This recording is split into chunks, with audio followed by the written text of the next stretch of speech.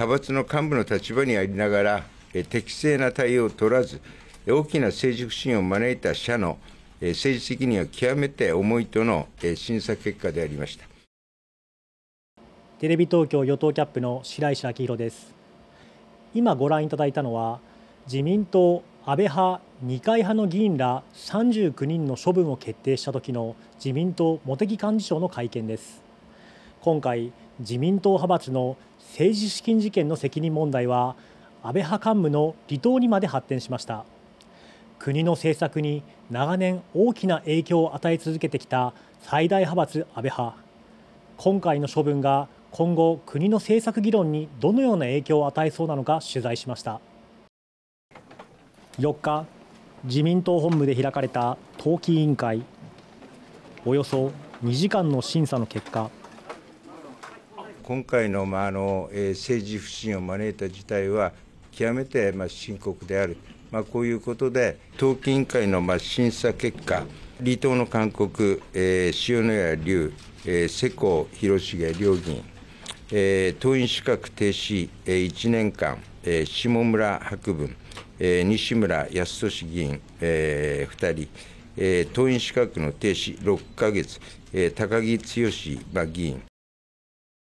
処分に至った議員を厳しい言葉で断罪しました。これに対し処分を受けた安倍派幹部の反応は様々でした。非常にあの厳重な処分で、えー、本当に残念だと。なんであのそのそこで線を引いたのかということもちょっと私は理解できなかった。申し上げたいことたくさんありますが私はもう静かな心境で政治責任をしっかり、えー、取ると。私は処分そのものについては受け入れますが、しかし、きちっとした真相解明をしてもらいたいと。大変厳しい処分でありますけれども、えー、この処分を真摯に受け止めて、いわば裸一貫でもう一度ゼロから再出発したいと。一方、官邸で記者団の取材に応じた岸田総理大臣は、記者団からなぜ総裁である自身が処分対象から外れたのか、その理由を問われましたこれは党全体として、えー、この政治不信を招いたこと、これは事実であります。えー、党党総裁としての責任、これは重く受け止めなければなりません。私自身については、こうしたこの政治改革に向けた取り組みの進捗ですとか、取り組みぶり等をご覧いただいた上で、最終的には国民の皆さん、そして党党員の皆さんのにご判断をいただく立場にあると考えています自身への処分は、最終的に国民に判断してもらう立場だと述べるにとどめました。今回の処分により、最大派閥安倍派の解散、そして主要ポストについていた安倍派幹部が力を失いました。これにより政府与党の政策議論の中で一番大きな影響を受けそうなのが国の財政政策なんです。財政再建というだけじゃなくてまさにインフレや、えー、国民の財産を次の時代に継承できる仕組みをですねしっかり確固たるものにすることが大事で。大型の財政出動でデフレ脱却を目指す積極財政派が集う自民党財政政策検討本部。かつて安倍元総理が最高顧問を務めたこの会合。世耕氏や萩生田氏など安倍派の幹部を中心に多い時には100人近い議員が参加する大所帯でした。ただ3日の会合では席もまばらで姿を見せた安倍派幹部も萩生田氏ただ一人。勢いに陰りが見え始めていることに本部長の西田氏は危機感をにじませていました。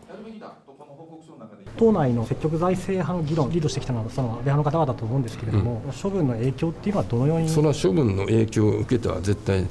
だめですしそうなるとは思いません。その裏金議員とかなんとかとねその処分するのと全く関係ない話ですからね。それそれと関連づけて、えー、いわゆる積極財政を否定するような話には当然なりえないししたらだめだと一方小渕選対委員長や森山総務会長など党の幹部らが駆けつけたこちらの会合。この本部のですね、えー、この本部は基本的に6月の骨太これを大きなテーマとして捉えております。大きな目大きな構えでもって財政というものを考え直して勉強し直してみようと。税の番人自民党の宮沢税制調査会長らも参加し財政規律を重視する議員たちが集まっています。積極財政派の議員の多くが処分を受けたのとは対照的にこの会合に出席する議員らはほとんどが無傷。ライバルが勢いを失う中財政リスクについて議論の活発化を狙います。財政規律を重んじるという考え方が今後党でますます重要になってくるということでいいんでしょうか？というかまあかなりの人はそう思ってるんじゃないですか、うん、やっぱり規律なき財政はありえないということが確かです、うん、財政規律に改めて目を向ける時だというふうにもお考えだいやこれは日本の財政はもう世界ダントツぶっちぎりに悪いわけですよね。ですからそのきちんとこの財政リスクに対して政治がきちんと向き合っているという姿勢は極めて大事だと思います。先ほど VTR でもご覧いただいたようにですね自民党内の積極財政派とそして財政規律派この2つのパワーバランスにも変化が起き始めているんですけれどもそれと同様にですね今後は岸田総理と自民党とのパワーバランスにも影響が出る可能性があります。これまではですね岸田総理と官邸は100人程度の議員を抱える最大派閥安倍派の幹部の意向をですね踏まえながら経済政策を打ってきました。例えばですね2022年に追加の経済対策をまとめた時はですね当初の政府案というのは25兆円程度でした。しかしこれに萩生田氏などが反発した結果4兆円の積み増しが行われ最終的には29兆円まで膨らみました。こうしたですね総理と自民党とのパワーバランスというのは今回の処分をきっかけに変化が起こる可能性があります。またそれによりですね財政規律を重視した安易に予算を膨らませないこうした方向での経済政策というのが今後打たれていく可能性があります。